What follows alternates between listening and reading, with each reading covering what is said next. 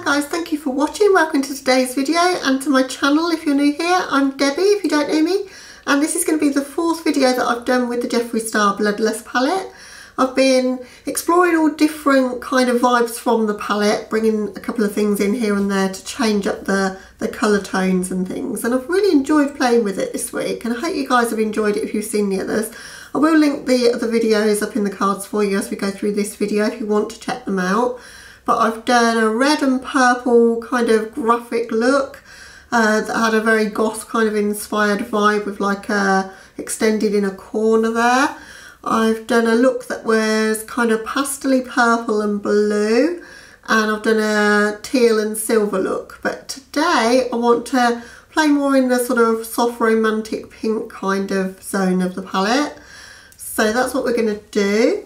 So I'm going to use Royal Pain in my crease I'm going to make sure that I use Wet Jewel because I've not really used that too much yet and I'm also going to use Betrayal because I haven't used that one yet at all. So I've used most of the shades in the palette with the exception of, of those two I think. But, but I haven't used this one so and it is a really really pretty shade so I want to incorporate that. So, so yeah it's going to be very soft and pinky purple not quite sure what I'm going to do on the lower lash yet. I might intensify the lower lash line with Dungeon and then just smoke that out with High King, but I've not completely decided yet. But I'm going to try and keep things quite soft and romantic looking for this look. So I'm going to scooch you in and we'll get started. So I've primed my eyes already with the MAC Painterly Paint Pot, done all the rest of my makeup. My highlight today is Ofra's Pillow Talk because again I wanted something nice and soft and and pink so uh, I decided that one went really well. So as I say I want to go in with Royal Pain and start my look with that and I'm going in with uh, Jeffree Star JS6. Oh that's a lot more of a stunning shade than I kind of expected. I kind of wrote it off as a neutral and I thought oh it will be fine just to start my crease but I really really like that. So my vision for this look is to have it almost like a reverse smoky eye, so to have things quite sort of deep in this inner corner and then fading out to, to not as deep in the outer corner.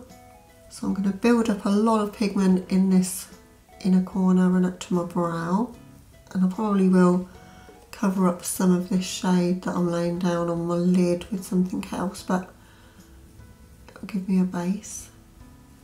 That is such a beautiful like salmon tone pink.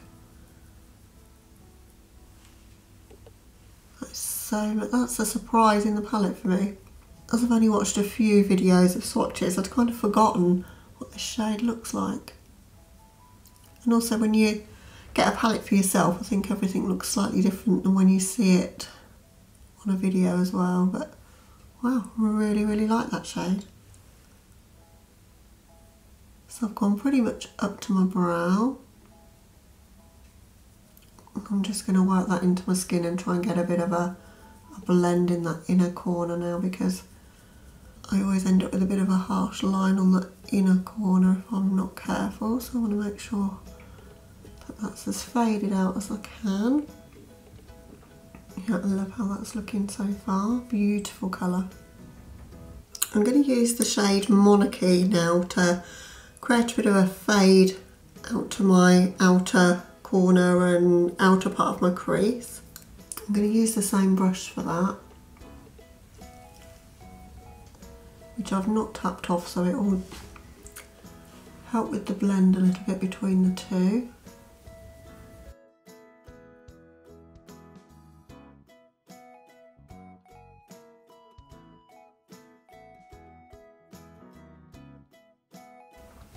Shade's quite a dusty shade, but we're not seeing any fallout because obviously it's such a pale shade. I'm going to go in with Betrayal and I'm going to layer that on my lid just below where we've put that Royal Pain shade. I'm going to spray that with Fix Plus because I think that will help just to avoid any fallout there. I don't want this to be a cut crease, I want it to still be pretty soft so I usually use glitter glue with shimmers but I often find that makes blending quite difficult so I think this will work really, really well. using a Morphe M152 if you're wondering which brush I'm using because it's quite a soft packing brush but quite precise as well so it's helping me to stay where I want to stay in that corner. Okay, I want to make sure we keep things quite deep in the inner corner so I'm going to go in with a touch of Dungeon just to make sure I keep that intensity. I'm just going to focus that on the inner corner and just the inner kind of portion of my crease there. Hopefully that makes sense.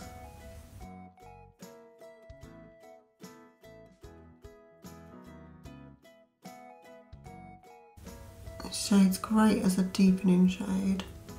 I'm not using too much of it, I'm just literally touching the brush to the pan and I'm using quite a light pressure but I just wanted to build up just a, a little bit of drama in that inner corner. And I'm going to go back in with Royal Pain and just make sure I get a blend with that shade. So I'm just pretty much layering that over the top.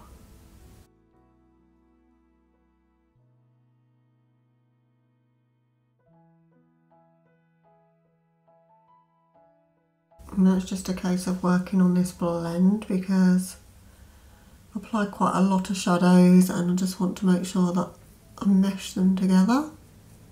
So I'm using just sort of circular blending motions there to achieve that. Now I'm going to go in with Wet Jewel. Again I'm spraying that.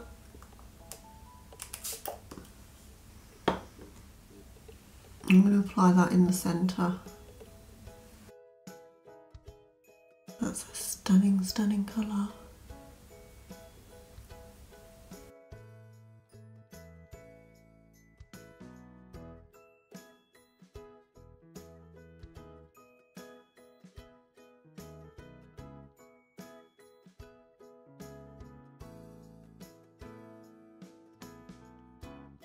Where Wet Jewel is meeting Betrayal, I'm just going to tap over that get a bit of a blend between the two.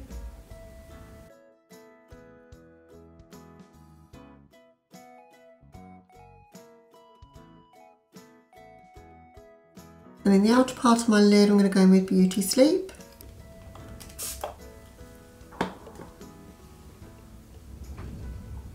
Just going to pack that in my outer corner. Such a stunning shade.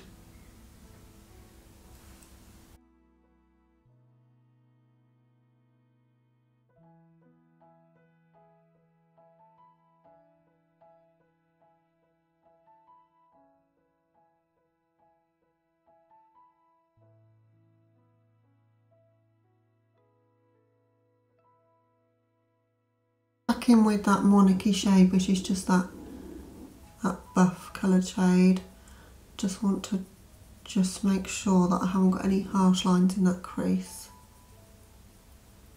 and that shade can just sort of fade away to nothing in the edge. For my waterline I'm going to go in with Woodstock by Urban Decay, one of the 24-7 liners.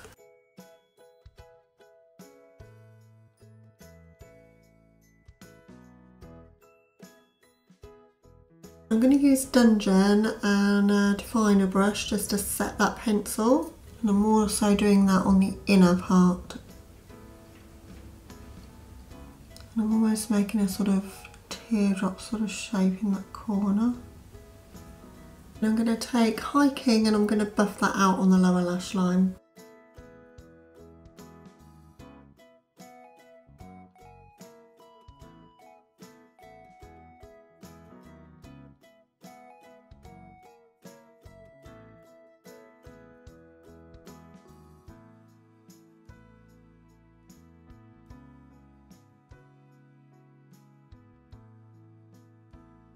Okay, so that's the look to this point. Just going to hop off camera for the finishing touches and I'll be right back with you to show you the finished look. Okay guys, so here's the finished look for this one.